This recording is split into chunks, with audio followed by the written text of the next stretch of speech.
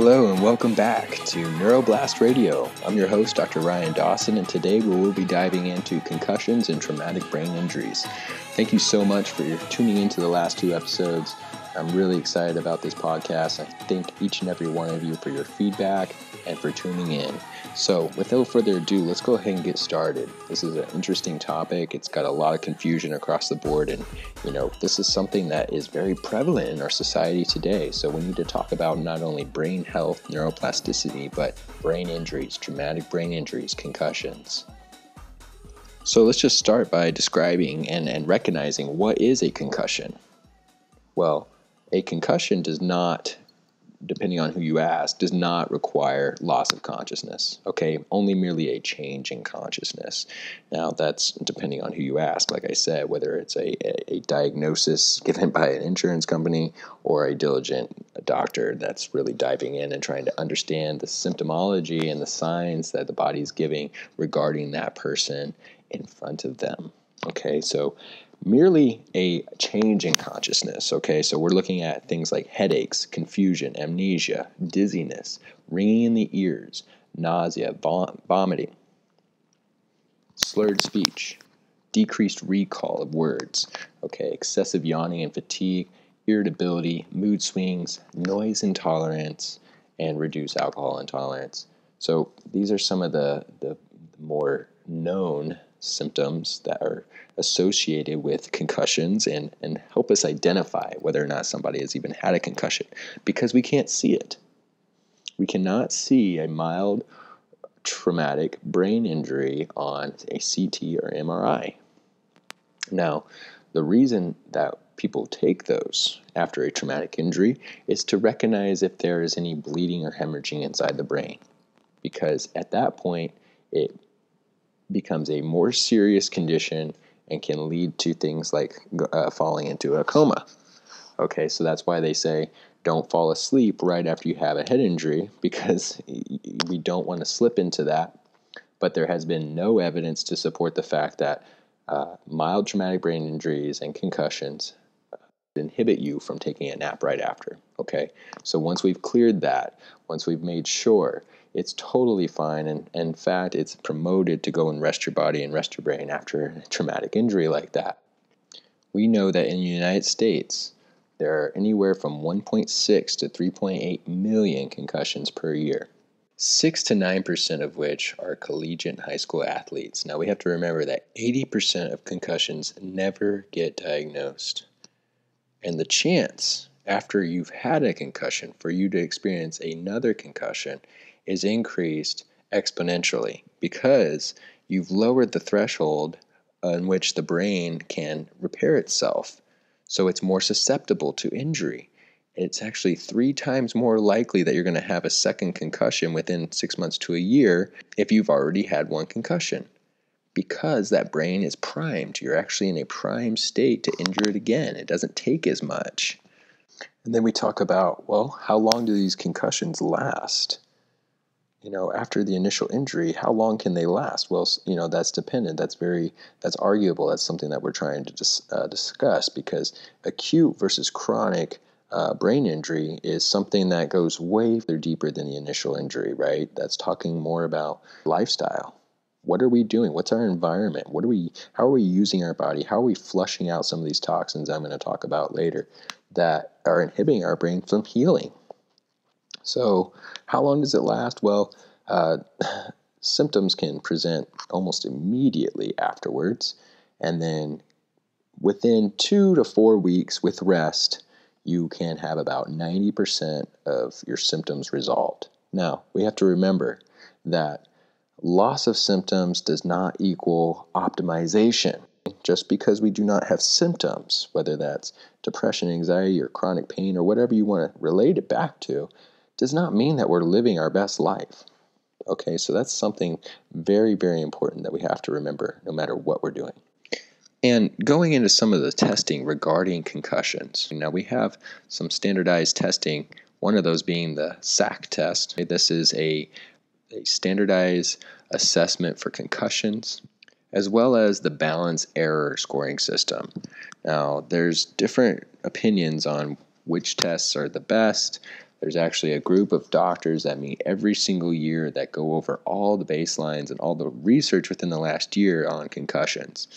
And one of the more researched ones lately is the King Devick test or the KD test, which is a visual based rapid numbering naming system that validates and, and allows us to measure after a, an acute concussion and helps detect those things. Some of the symptoms that we were talking about earlier headaches, irritability, vomiting, nausea these are all signs and symptoms of a concussion.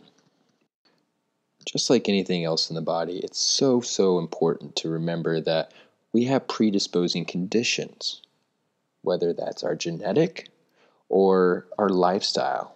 What is our brain health like before the injury? What's our environment like? What's our age?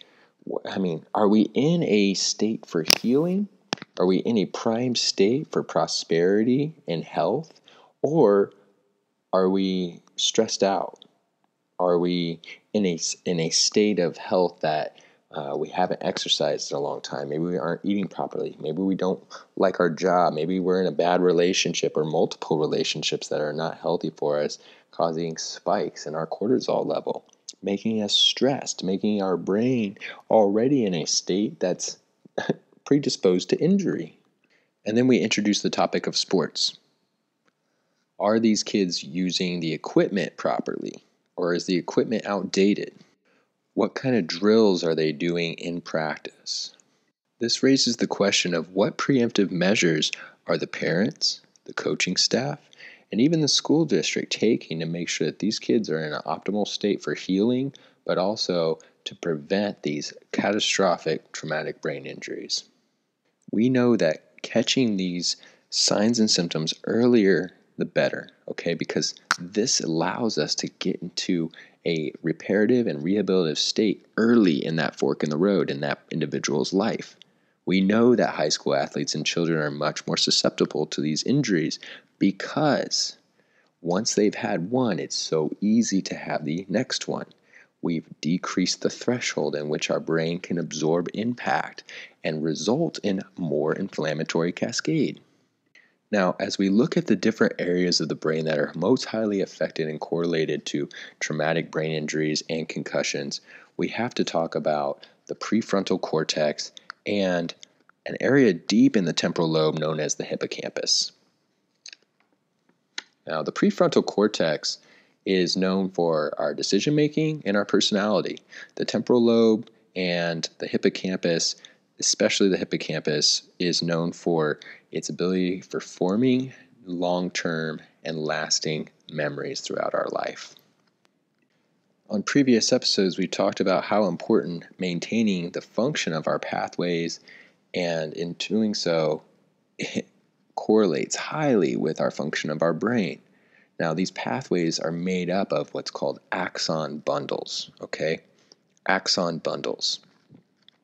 And whenever these axon bundles are damaged through high impact or a concussion, traumatic brain injury, they start to fray. Okay, they start to fray like a rope that's been pulled too tight. And people that have had these frayings perform much worse on cognitive tests. Okay, so what allows this uh, bundle to maintain and hold together, what allows this bundle to maintain and hold together is a protein called the tau protein. This tau protein is responsible for supporting microtubules inside your neurons and inside the cells. Now, whenever we have repeated hits and damage to these tubules, that causes the proteins to kind of dislodge and then they start to clump together. And this drives the breakdown in the connections in between neurons inside of our brain. And these clumps start to accumulate and they accumulate. And over time, they go undiagnosed and they build up. And the breakdown of these tubules releases toxins. And then the microglia, these little immune cells in your brain, like to go in and try and clean it up. And they're releasing inflammatory cytokines. And the toxins themselves can actually damage and hurt other surrounding neurons that maybe weren't hurt during the impact. And so we see that the breakdown of these connections leads to cognitive decline, and over time can lead to post concussive syndrome, which consists of symptoms that involve learning disturbances, mood swings, and can definitely affect your relationships and your goals. Now, these breakdowns can also, over time, once you get into the 30s and 40s, whenever they have been undiagnosed and untreated for years on top of an unhealthy lifestyle, stressful environments, whether that's mechanical or even biochemical stresses, especially. And then we look at this, and over time can lead to chronic traumatic encephalopathy, which, like I said, are the changes in mood and behavior, this chronic fatigue of the brain over time, this chronic de- degeneration that's been so highly correlated with our outlook and our depression. Now, taking care of our brain and optimizing our brain is the only way that we're going to optimize our life. And after we've had chronic injuries on top of poor lifestyle choices, we're literally setting ourselves behind the eight ball and trying to climb our way back. And it's really hard, so hard. And it's trippy the brain is just trips you up like that because whenever you're in these states of repair, whenever you're in these states of inflammation, these post concussive states, you don't realize that your fatigue is from your injury. You don't realize that your irritability is from your injury. You don't even realize sometimes that your personality has changed. Maybe the people around you have, but you don't make that connection. And sometimes that can take months for those symptoms to present. So you don't even relate it back to your initial injury. And there you are, four or five months down the road, and you're having mood swings. Maybe you're already stressed out because you are in a job, or you're in a school, or you're in a sport where you were kind of pressured into going back into that situation or scenario earlier than your body and your brain was ready to. And so now we predispose ourselves to stress while we're already in a stress state that will lead to personality changes, that will lead to conflicts in our in our relationships and conflicts inside of ourselves and reaching our own goals and it makes the, your life force so depressed, so low and very very frustrating. So it's like we're hitting, getting hit from every angle, not only physically, not only psychologically, but biochemically. Our, our structure is changing and reinforcing negative pathways that no longer serve us and that are not healthy and only going to lead to cognitive and brain degeneration. And when we're talking about cognitive and brain degeneration, we have to kind of relate this back to those proteins. What are we talking about? on a molecular and a physiological level. Well, those tau proteins that hold the microtubules together, they begin to clump together, and we see that in Alzheimer's. Okay, this is why Alzheimer's is considered to be an incurable disease because it's already been spent. The there's nothing left to rebuild at that point. And it's almost like you got to think of it as investing these preventative brain exercises, these things that I'm going to talk about next, are, are investments into your brain, into your life, into your future, almost like a 401k. Because once you get to the end of your life and you hit those trials and tribulations that come with aging, is your brain in an optimized state to keep going in case you do have an injury or just to deal with the, the stresses of life? Or have you been degenerating over the years and these proteins have built up to a point where there is no going back? And even though we're talking about Alzheimer's, the onset being from traumatic brain injuries and concussions and this chronic concussion over time, we have to remember that Alzheimer's is also induced by uh, insulin resistance. So, our body and our brain's inability to uh, use insulin and reuptake sugar. Sugar can cause massive damage on our brain, even though our brain loves to use glucose. It actually prefers to use ketones, and we can talk about the ketogenic diet later on. But whenever we're talking about this, we have to mention that Alzheimer's is actually called type 3 of diabetes. So there's more than one way to get there, and it all equates to the same result. So, what we really have to do is start looking and really asking the questions. If you're a parent, talk to the coaches, talk to the school staff, and let's develop, speak up on this topic so that we can start to develop constructive conversations on recognizing and preventing these traumatic brain injuries and concussions in our young youth and high school athletes. I always tell my patients, especially the parents of you know younger patients that it's so much easier to keep your child healthy than it is to fix a broken adult. So let's go ahead and start talking about some of the treatments now because as we go into uh, the preventative measures and the treatments, there's a lot of overlap. First and foremost, one of the best ways to prevent not only brain injuries and degeneration from concussions, but chronic injury, stress over time is stop having our youth athletes specializing in a single sport year round. Okay, whether that's baseball, soccer, football, whatever. We don't want uh, our young athletes to be a, a single dimensional or a one dimensional type of athlete. We're seeing a higher and higher prevalence of this where kids and youth athletes are playing these sports year round and we're predisposing them to chronic injuries, whether that's an ACL tear or UCL tear or some kind of chronic stress that not only leads to damage on their joints and their body, but also leads to burnout. And then when burnout sets in, chronic fatigue sets in, and you even you predispose that person even more so to an injury because of loss of dynamic and loss of technique. Technique is so important whenever it comes to proper mechanics, especially when it comes to sports, running, throwing, or anything that we're doing in repetition, even sitting. So, proper rest, proper recovery is absolutely essential. Rest and recovery are just as and maybe even more essential than the training itself. You got to think what if you worked all the time but never went to sleep? We have to give our body and our joints and our nervous system and our muscles the chance to repair. It's just like after a workout, whenever you go to the gym or maybe you go try a new exercise or hold a new pose in yoga, you're sore the next day. But that soreness is actually a part of the healing process, and you're going to come back stronger as long as we don't overwork it and cause injury to that area and strain or sprain the muscle or ligaments. Now, when we start talking about muscles and ligaments and soft tissues, we have to refer back to the cervical spine.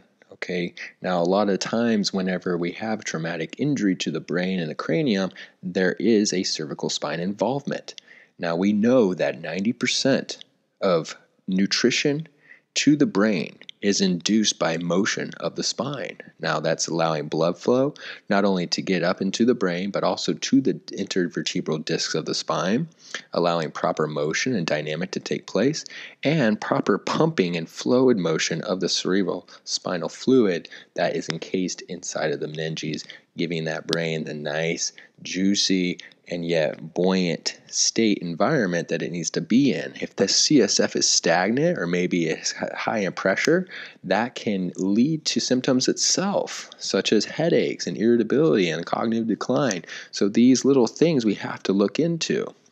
This is why it's so crucial to get children and infants checked from the earliest stage possible for damage and loss of motion in the neck and into the spinal cord. We know that the spine brings nutrients to the brain, and it happens through motion. So, if we lose motion, if we lose dynamic in an early stage in life, we are predisposing ourselves to injuries later. Okay, so for example, Maybe it's time to go to the hospital. Baby's been inside mom for nine months, and we rush to the hospital. Cortisol levels are starting to go up. Everybody's getting excited. And then we go into labor. And the labor takes place for, you know, sometimes four or five hours, maybe all the way up to 60, 70 hours I've seen. And so with each contraction, mom just pushing with the weight of the universe, pressing, and that baby's upside down, just pressing down, maybe onto the pelvic floor that's not quite open yet. And for hours and hours and hours, we get this compression and this force on the cervical spine and spinal cord and on the brain. And then what happens? Time to come out. after all of that. And sometimes we use forceps and these techniques that pull and bring a lot of tension into the cervical spine after all that compression. And we never check to make sure that the dynamic in the spine and in the cervical spine, especially upper cervical, atlas and axis, or C1 and C2, is in motion with the cranium, holding the cranium and allowing the transmission through the brainstem down to the spinal cord to be proper and effective so that that baby is not predisposed to any injuries and has the right start that it deserves so that as we age, we're not predisposed to more injuries.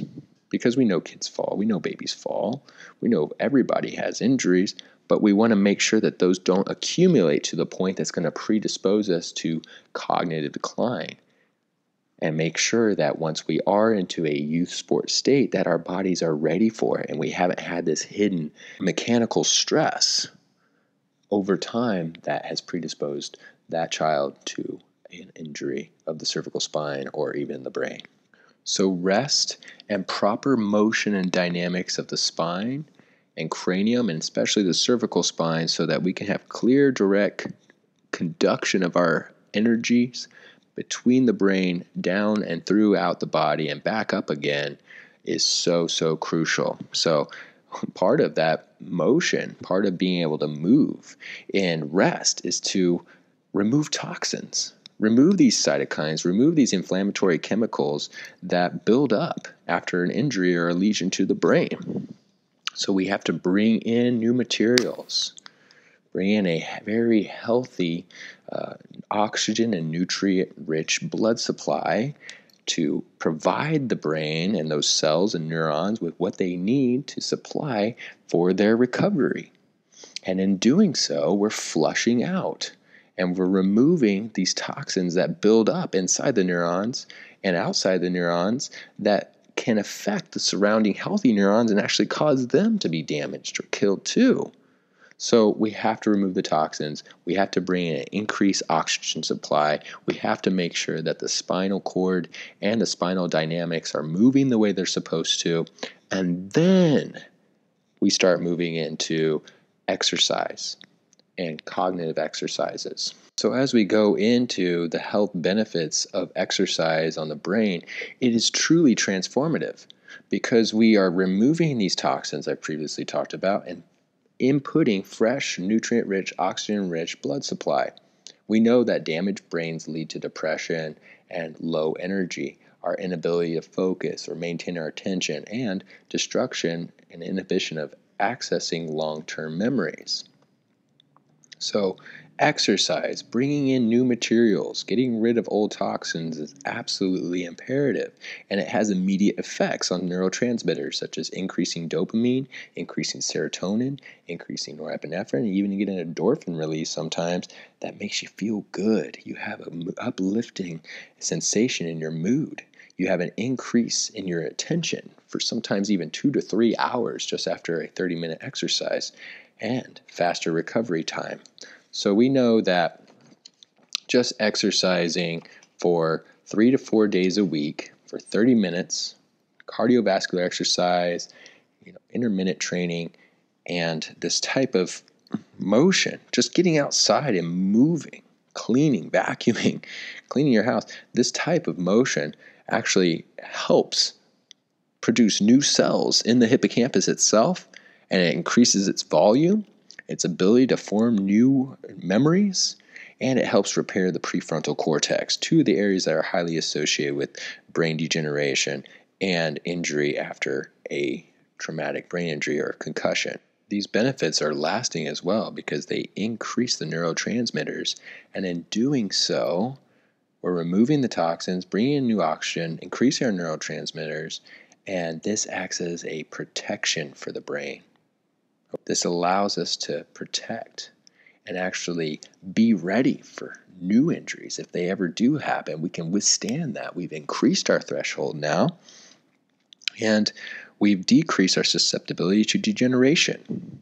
So we have to think of it much like that 401k or the savings that we need at the end of our life, just as if we were preparing for our financial savings, we have to prepare for our cognitive and our neurological savings later on. Now, going into the rehabilitative portion of this segment, we have to remember that some of these stories are amazing, and we look back at you know uh, Ponce de Leon, the uh, the rookie starter for the Cardinals that just made his major league debut a couple weeks ago. If you guys don't know this story, please look into it because it is amazing. This young man has been through so much. He actually got hit in the head with a line drive last year, and went through all this rehab. And one of the things that he talked about was just getting his body back into a prime state so his brain can heal. So using the exercise in a proper pattern okay the combination in which we uh, bring these different types of approaches in depending on the person and their state of healing is very very important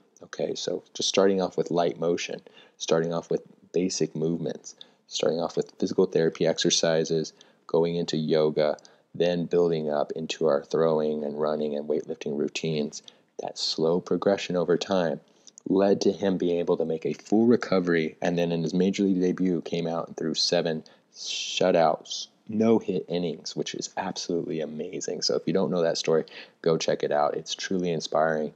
Additionally, another great treatment that we love to utilize in our office and that I've utilized in my own story is the hyperbaric oxygen therapy chambers, where we actually lay inside of a tube for 30 to 45 minutes, sometimes upward to an hour. Now, what this does is increases the atmospheric pressure around your body and actually forces in oxygen into your body to start healing the tissues faster and especially has been shown to help decrease inflammation. So, even though oxygen can act as a free radical inside of our body, we need to make sure that our diet is lined up with this type of therapy so that we can remove those free radicals with antioxidants such as glutathione and vitamin C and vitamin A and so forth as previously spoke about, the diet and having highly nutritious food and a blood supply to these lesions is so crucial. So, decreasing our amount of sugar, improving the amount of plant based foods that we're eating, and then also incorporating cannabidiol because we know that we do have an endocannabinoid system. Now, if you don't know what cannabidiol is, it's a non psychoactive uh, cannabinoid found in cannabis that's been utilized for uh, helping with um, things such as epilepsy and seizures and just gross inflammation throughout the body. We know that a lot of our symptomology inside of our body comes from a dysregulation inside the endocannabinoid system itself. This cannabinoid acts as a modulator within our own immune system and nervous system. It's found on every single cell in our body, even some receptors on the mitochondria. So it actually goes in and helps stimulate healing and act as a modulator. If something is overworking, it's going to slow it down. If something is underworking, it's going to help pick it up. And so this cannabidiol is a great way, and it's been shown to not only help with pain and some of the symptoms of concussions, but actually help the brain repair itself. And so I think that this is something that we have to look more into and utilize to our benefit. Think of it more as a food or a supplement for yourself and not a drug because, like I said, this is non psychoactive. If you don't know what it is, please go check into CBD and be aware of its benefits. And lastly, another great exercise is just mindfulness. Having a morning mantra, waking up in the morning, being mindful of what we're going to do throughout our day, setting our intentions, starting off with a nice morning walk or exercise routine, and going into some stretching so that we feel good and ready for our day. We feel productive before we even start our day. Having that morning mantra is absolutely crucial in our recovery, but also our commitment to ourselves and being able to maintain that path of rehabilitation for its entire course. So, the whole reason that I really got into neuroscience and health in general, I'd always, uh, you know, been an athlete growing up and been interested in how the body worked, been interested in the mind and the psyche, and over time, I even went to, uh, you know, school for uh, kinesiology and I really like to study the way the body moves. And that led me into this the overlap of you know our brain body connection because there's so much overlap. We cannot separate nervous system health from gastroimmune health, from our integumentary health, from our musculoskeletal health. The nervous system controls and regulates every single other system in the body. So, if we do not have proper function of our brain, spinal cord, and nerves, we are not going to have proper function of all the other systems, and at least maintain proper communication between those systems so that we can prevent dysfunction, loss of homeostasis, and disease. And there's so much new, amazing research coming out. We're actually finding that there are cells inside of our brain known as doublecortin positive cells that are actually almost like stem cells that go in and repair the brain, and they're found primarily in the area near the lesions. So there is tons of new evidence coming out to support not only the detection, but the treatment and the prevention of these concussions and traumatic brain injuries. And it's amazing to see some of these results, not only on paper, but in the actual practice and in my life. The whole reason that I came to health, the whole reason that I even started on this journey in neuroscience to study the brain, to even start this podcast began way long ago whenever I was a child and I noticed that I had a higher susceptibility to fainting, and I had a, an a acute reaction to a lot of medicines that actually made me pass out. Like a reaction one time that I had to a cortisone injection in my shoulder for baseball. I actually fainted in the lobby about 20 minutes later and I fell back and I hit my head on the water fountain. And I woke up with a splitting headache and people standing around me and didn't know where I was at. I most definitely now that I'm older and have a chance to reflect on it, have studied this, did experience a concussion. And so as I was progressing through life after that, I experienced other traumatic brain injuries. One of them, of which was during my second year of my doctoral program, whenever I was out eating cheeseburgers and ice cream with some friends for a birthday. And I had actually uh, had this reaction from swallowing too much ice cream at once. You guys know what I'm talking about whenever you swallow something that's too big and you kind of get that lump in your chest and it hurts going down. Well, that's what it felt like, but it was also very cold. And what happened was a uh, what's called a, a vasovagal syncope, where I actually had a stress response and a spasm in the esophageal plexus around my esophagus that sent a message up to my vagus nerve all the way up into my brain telling me that I need to go horizontal. So it laid me out. I passed out right there after taking one drink of ice cream and I woke up. I woke up with people standing around me and I had severe headache and I started to notice over the next couple of days that I uh, was tired. I was fatigued.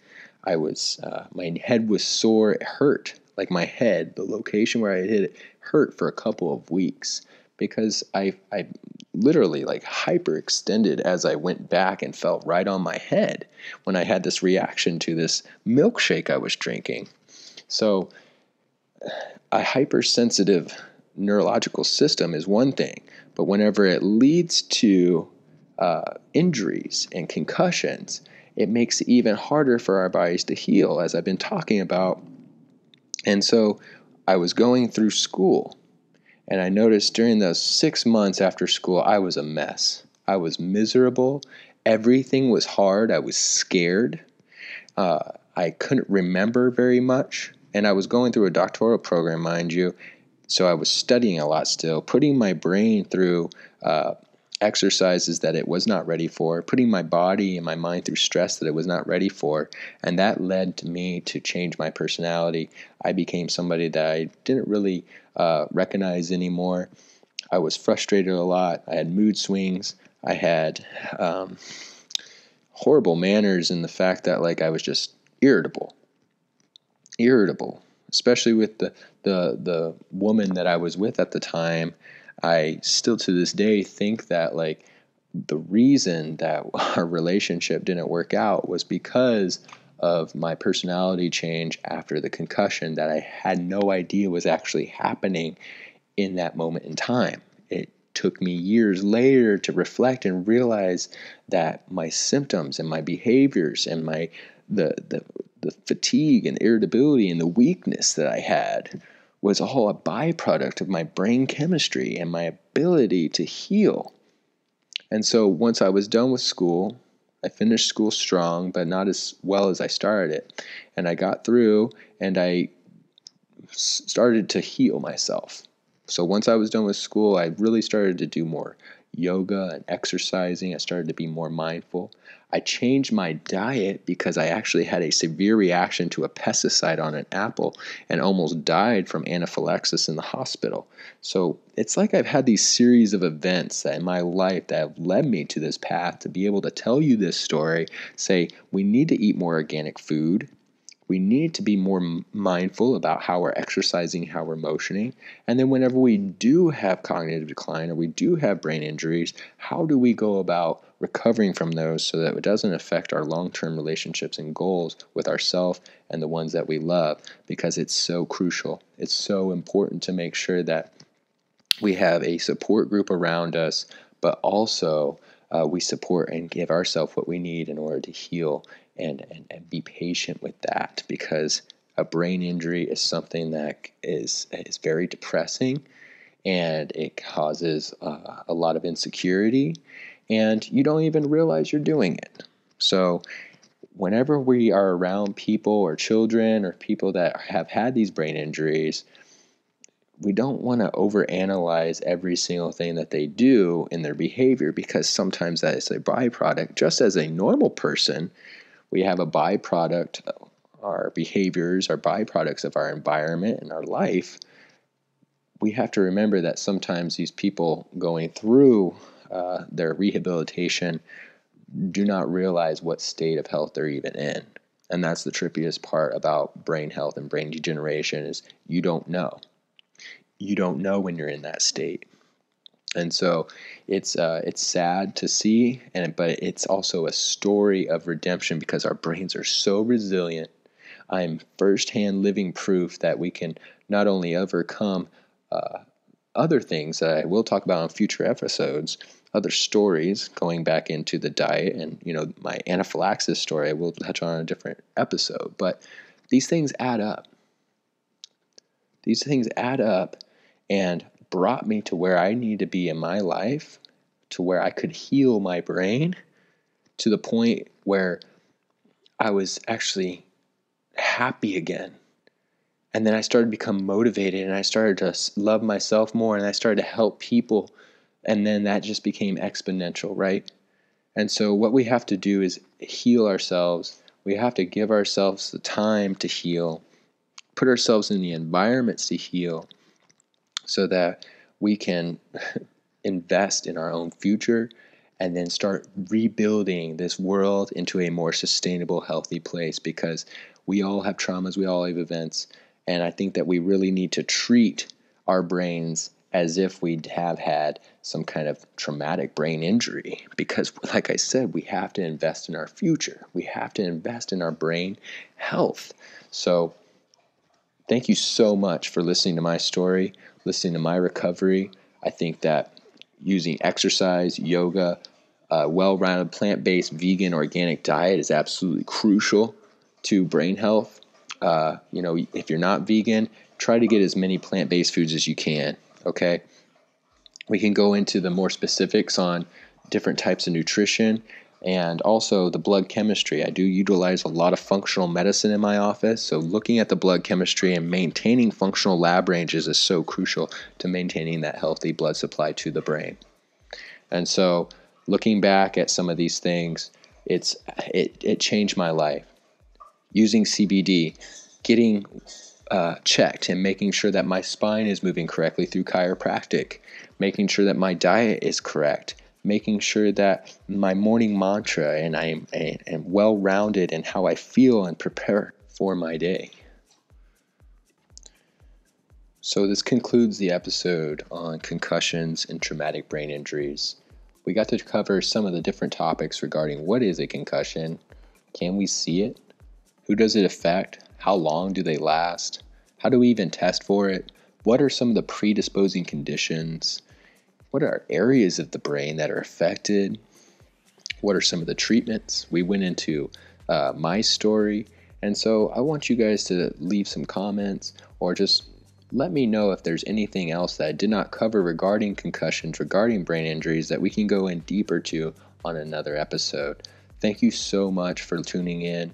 Like I said, I'm Dr. Ryan Dawson, from the bottom of my heart, I really appreciate you all listening to my story and to this podcast on how we can recover not only from brain injuries and things that have happened in our past, both physically and biochemically, but also how we can turn that around and redeem ourselves and build a life of neuroplasticity, trying new things. Whenever I was healing, I was wanting to do everything that I could that, you know, whether it went from making music to learning a new language to trying new sports, I was doing everything I could because I was afraid of slipping back into that weak state. And that actually promoted more healing in my brain, too. So, the topic of neuroplasticity is the future.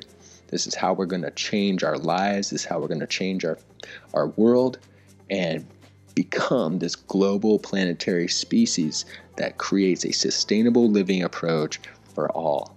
Thank you so much. I'm Dr. Ryan Dawson signing off. I appreciate each and every one of you, and I look forward to speaking with you again very soon. Have an absolutely amazing day.